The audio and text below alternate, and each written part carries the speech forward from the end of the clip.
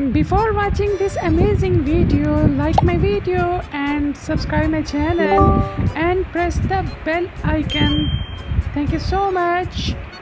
Basically, जो मेरा set है वो तो रेडी हो गया और उसके साथ ग्रीन स्क्रीन भी ये भी रेडी होगी और उसके बाद आप देख रहे हो कि एल ये भी रेडी होगी ये सारा स्टॉक स्क्रैप हो गया और हुआ पता है कैसे ये देख लो चेयर भी फट गई है हुआ पता है कैसे ये देख लो आदित्य को भी बुलाया था और मैंने रिजू को भी बुलाया था।